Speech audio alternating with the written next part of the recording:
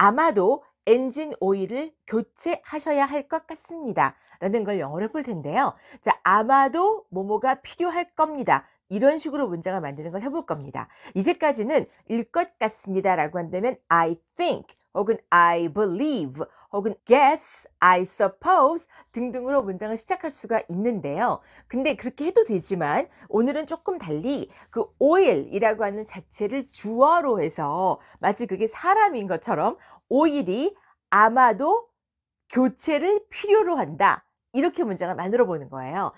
The oil 아마도 probably probably 그러니까 우리가 이게 좀 발음이 까다롭다 보니까 잘 좀 어떻게 하면 좀 안 써볼까라고 하는 그런 단어 중에 하나일 수 있는데 근데 사실은 굉장히 많이 쓰이는 단어거든요. probably probably probably 그래서 부부 이렇게 돼요. 부부 이렇게.